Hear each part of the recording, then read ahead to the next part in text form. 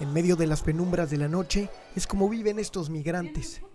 Allí en el centro de Mexicali, alrededor de los bares, las luces y la vida nocturna, se encuentra el 5, el antiguo hotel cordobés que sirve como alojamiento para quienes fueron deportados o apenas buscan cumplir el sueño americano. La única diferencia es que este lugar se encuentra en tinieblas. Al llegar a este lugar las personas tienen que pagar la cantidad de 10 pesos por pasar la noche. Primero se tienen que registrar y comprar una vela la cual tiene un costo de 5 pesos para pasar la noche, ya que en este lugar no hay energía eléctrica. Este hotel tiene aproximadamente seis meses y medio más o menos.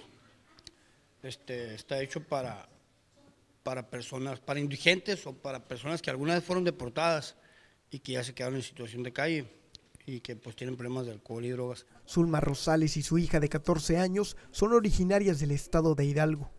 Viajaron hasta Mexicali con la ilusión de cruzar a los Estados Unidos. Antes de llegar aquí, dormían en los parques públicos. Aquí nos gusta. A muchos nos gusta dormir aquí. Aquí no pasa nada. Todo está bien.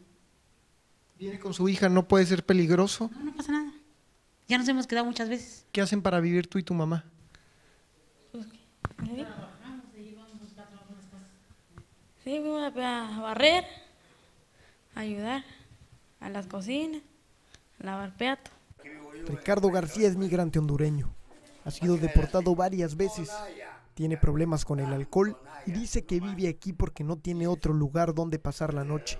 Es mucho mejor que estar en el parque a la intemperie, expuesto en un yongo a que te lleguen policías de civil, a que te saquen afuera, que te registren, que te quiten tu dinero, como me ha pasado, me ha quitado el dinero. Este hotel cuenta con 50 habitaciones y se mantiene de organizaciones civiles. Con imágenes de Gonzalo Magaña para Noticieros Televisa, Saído Ochoa.